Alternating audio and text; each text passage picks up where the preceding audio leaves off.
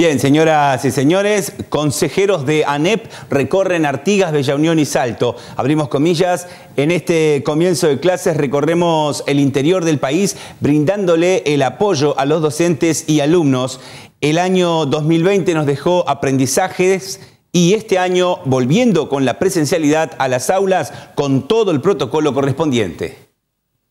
Hoy estamos dando inicio a los cursos en la educación inicial, en la educación primaria, en la educación media, tanto la de secundaria como la educación técnica profesional, la educación agraria.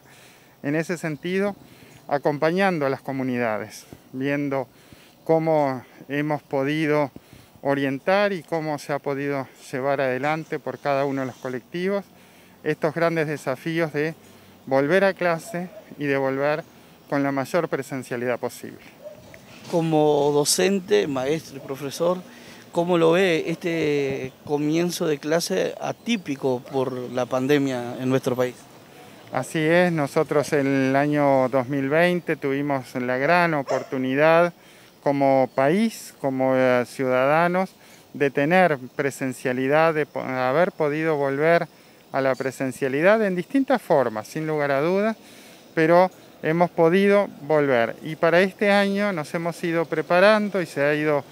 coordinando de parte de distintos grupos técnicos, de distintos grupos profesionales, docentes, que empezaron a pensar por allá por septiembre del 2020, primeramente cómo culminar el año, luego cómo darle continuidad y eso fue el resultado de las actividades de enero y de febrero en distintos niveles educativos y ahora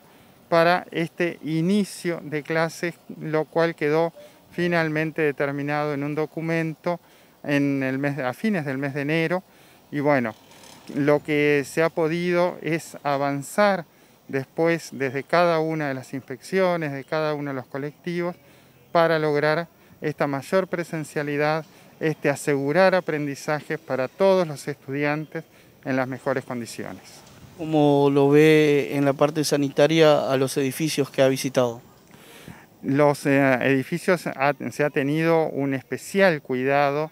eh, tanto desde la administración central, o sea, desde los órganos de infraestructura, desde las organizaciones de lo que son las inspecciones y fundamentalmente de los propios centros educativos y de las comunidades, escuelas, liceos, en los cuales eh, hemos estado recorriendo, que se encuentran en condiciones, que se encuentran preparados, organizados, con los elementos necesarios, asegurando una presencialidad cuidada, una presencialidad en la cual los estudiantes, como recién estuvimos conversando con algunos de ellos, el tema del alcohol en gel, tenerlo presente, el lavado de manos, el asegurar el distanciamiento, el asegurar espacios de ventilación, ya sea en el aula como actividades fuera de la misma. En la parte de primaria como maestro, una evaluación de la virtualidad en el 2020. Fue todo un desafío. Nosotros hemos venido durante años trabajando con eh, formatos, con herramientas tecnológicas, las cuales se han ido desarrollando paulatinamente. El año 2020 nos enfrentó a una realidad en la cual teníamos que hacer uso porque era la forma de llegar a las familias, de llegar a nuestros estudiantes